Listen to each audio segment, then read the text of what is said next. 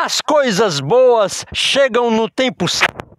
A gente está feliz porque nós estamos aqui no meio do sertão de Sobral, na localidade de Marreca de Baixo. Aqui tem várias casinhas. Mostra aí, Fagner. Olha aí, olha aí. Ó.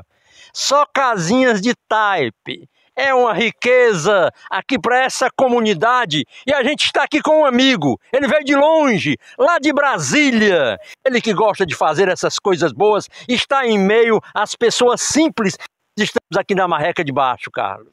Saga Lopes, eu me identifico muito com a simplicidade, pois sou oriundo de simplicidade. Não poderia ser diferente. Sou matuto, sou eclético, sou da cidade, mas sou mais do interior. É. Olha que banho gostoso ali, Fagner. Olha ali, olha que banho gostoso ali, rapaz. Oh, rapaz, é uma benção. E a, a dona de casa por aqui, Carlos, nosso propósito aqui, o que, que é, Carlos? Nosso propósito é como você sempre faz e gosta do interior.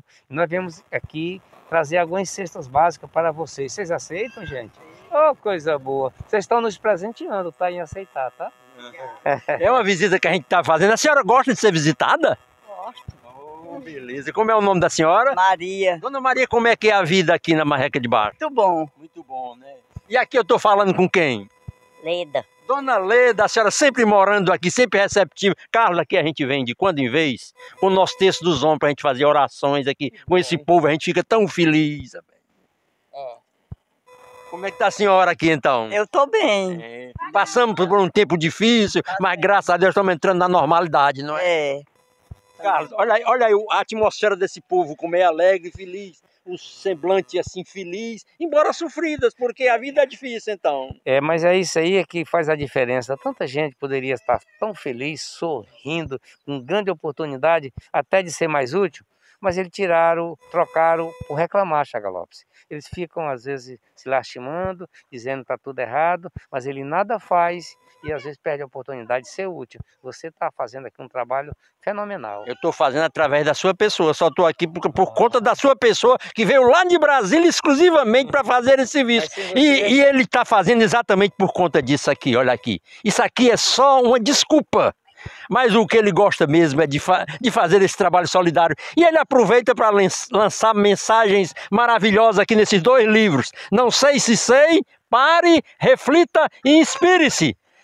Essa comunidade tem muita gente aqui, tem muita gente, não tem? Tem. Oh, beleza. Quantos tem aqui? É, né? Tem muita gente, né? Bacana. Opa, tá sabe. bom. Então vamos fazer a distribuição, não é, Carlos? Das cestas aí. Vamos pedir a cooperação do Olímpio, que está aqui conosco, para fazer a distribuição para essa gente maravilhosa aqui das marrecas de baixo. Olha aí. Isso é muito bom. A gente fica feliz, uma tarde ensolarada aqui no meio do inverno de 2022. Aí, dona. Aí, de... É isso.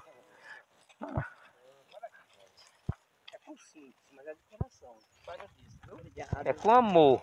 Se existe amor no que faço, esse aqui é o que eu é tenho mais amor, viu? É, olha aí, ele veio de Brasília, tá aqui mesmo num dia de sábado, de sábado. Que alegria, viu? Que Deus abençoe a senhora. Eu diria, Chega Lopes, você é um homem de Deus, né? Porque se aproxima das pessoas e através de você está me fazendo ficar mais próximo. É bom porque a gente, a gente é um descobridor das coisas boas, dessas pessoas simples que a gente fica feliz diante delas. Com certeza, isso daí faz uma grande diferença. E ele é um amante do sertão e das pessoas simples. Então eu quero lhe agradecer. Tá bom, tá bom. Olha aqui, a distribuição para essas pessoas simples aqui da localidade das Marrecas. Ainda tem, ainda tem alguém para receber? Vamos lá. Aquele senhor recebeu ali na casa dele? É dela, dela. dela. Então vamos distribuir aqui, vamos distribuir com o cidadão aqui, esse cidadão que está aqui para receber. Tudo bem? É, o dono de casa. Que alegria, viu, estar aqui nas marrecas e poder trazer algo tão insignificante, mas saiba, é de coração. Obrigado. Né, tá senhor? Bom, Obrigado. Tá bom. O registro que a gente faz aqui na Marreca de Baixo, com essa gente maravilhosa e feliz. É isso, é um momento realmente muito agradável e a gente também se realiza com tudo isso, não é, Carlos? É um momento memorável e o mais importante, inesquecível. Nunca mais eu vou esquecer de vocês. Tá bom, é isso. Ah, acompanhe, veja, estude esse livro aqui. Esses livros aqui maravilhosos. Estamos mostrando aqui no meio do sertão das marrecas. Não sei se sei.